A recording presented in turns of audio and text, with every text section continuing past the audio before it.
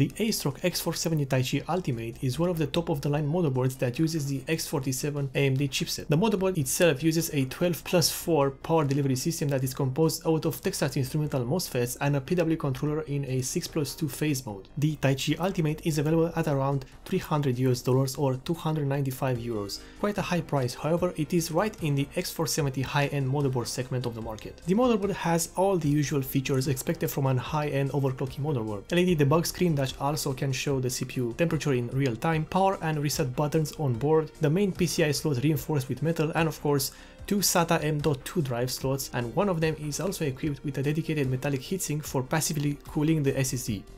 One of the main reasons why this motherboard is regarded as one of the best X470 boards is the overbuilt VRM system. It uses a 12 plus 4 power design with Texas Instrumental NexFET MOSFETs and an Infineon PWM controller in 6 plus 2 phase modes. The phases themselves are doubled from a 6 plus 2 configuration to a 12 plus 4 configuration by 8 DER doublers. The VRM system is cooled by two heatsinks that feature an all-aluminum construction with a two-tone angular design and sculpt, shaped and fins on all sides. The two heatsinks are connected by a single nickel-plated copper heat pipe. And since we are talking about cooling, the chipset heatsink is circular and has different elements applied to it in order to achieve the Taichi Cog design scheme. I would also have liked to see some actual cooling fins on the edges of this heatsink combined with all the design element already present. In terms of storage, apart from the SATA M.2 drive slots, the Taichi has also 6 SATA 3 6GB connectors and an extra 2 SATA 3 connectors that are controlled by the ASMedia chipset. The audio system uses the Realtek ALC 1220 codec as well as 5 Nichicon electrolytic audio capacitors that are part of their Fine Gold series. The whole system is completely isolated from the rest of the PCB to reduce interferences. The divide is done by a line that is also illuminated by LEDs when the system is powered on. One of the main differences between the Taichi Ultimate and the regular Taichi is found at the back of the motherboard installed on the I.O. panel.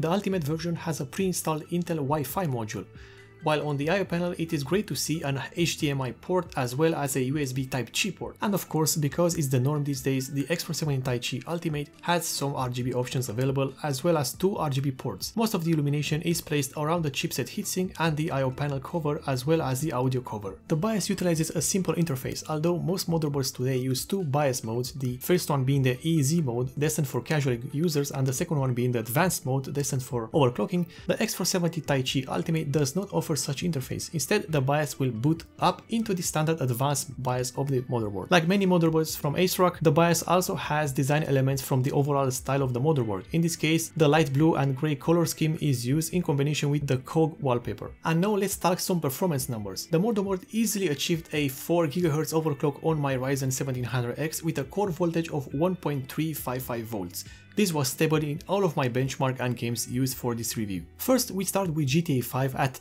1080p with a very high preset enabled and NVIDIA TXAA turned off. The Taichi managed to outperform all the motherboards previously tested and showed little to no frame drops. The same goes for The Witcher 3 Wild Hunt and for the latest installment of Deus Ex. However, the main advantage of the Taichi is the overbuilt VRM that is not only running cooler than other motherboards but offers more stability and lower overall voltage requirements for the same overclocking. The ASRock X470 Taichi Ultimate is an excellent choice for those who really want a motherboard that can both perform in overclocking and also offer all the features available on the market right now.